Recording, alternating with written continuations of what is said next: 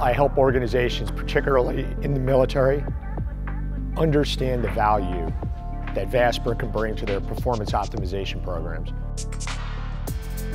There's a fixed window, like in professional sports, it's the same in special operations. You can only operate from here to here. And some people that might be from the age of 1920 to 30, 35. Some people it may be a little longer. But whatever it is, it's fixed unless you intervene and you have strategies such as Vasper.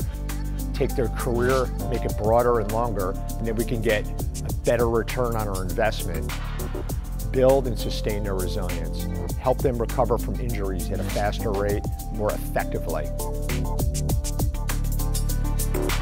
Our program was the umbrella effort for 67,000 special operators. That's all the SEALs, Green Berets, Rangers, special mission capable helicopter, and fixed wing platforms.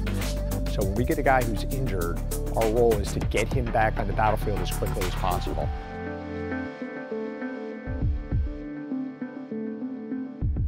So I went out and virtually looked at hundreds of different options.